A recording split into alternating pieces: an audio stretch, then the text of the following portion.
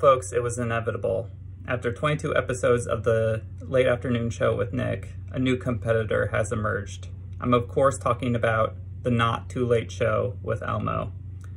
According to the press release, this star-studded talk show for the whole family will debut on streaming platform HBO Max on Wednesday, May 27, 2020. With 13 weekly episodes, each highlighting a different part of kids' bedtime routines, it's the perfect way for kids and parents to wind down together at the end of the day.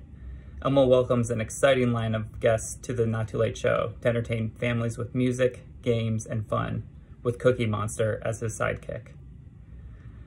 Well, folks, I know what you're thinking, that a show of this caliber is likely to trigger a very heated ratings war. Well, to that I would say, it absolutely will. Game on, Elmo.